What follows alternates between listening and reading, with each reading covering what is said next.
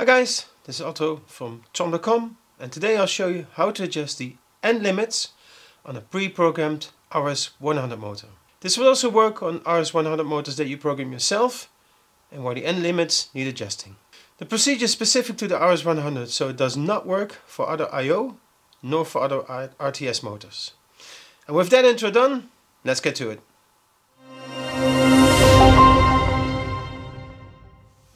So you have the RS100 built into the roller shutter behind me and it's working on channel 1. You can see it's selected now.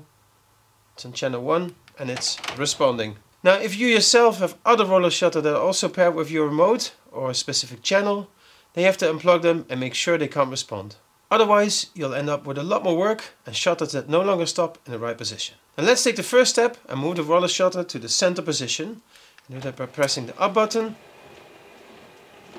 and then when it's roughly in the middle I press the my to stop it and now what I'm going to do is to press the up and down button at the same time until I get a jog, uh, an up and down movement from the motor.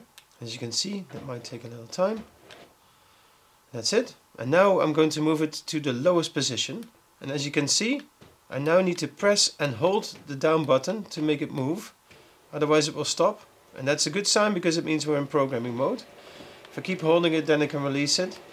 And I want to stop it roughly here. You can still adjust it by pressing up and down. As you can see it will make very small movements. Now when I'm sure it's in the right position, what I'm going to do is confirm that by pressing and holding the my button. And then I get a jog from the motor. Again, we go to the upper position by pressing the up button and holding that. As you can see you can then release it and then when it's in the right position and I'll stop it early here I'm going to stop it again. I can still adjust.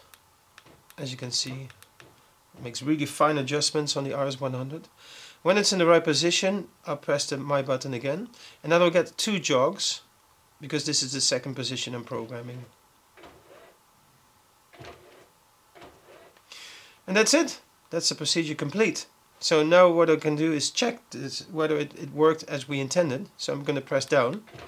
And as you can see now I can release the button and it will continue rolling. Slow down towards the end, as you can see here, and it will stop in the right position.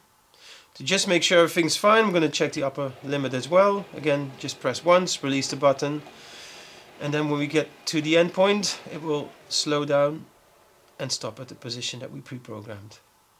So that's it. Um, now, if you have any questions about this procedure, if it doesn't work like you wanted to, then let us know. The email address is info at tromm.com. For now, thanks for watching and see you in the next one.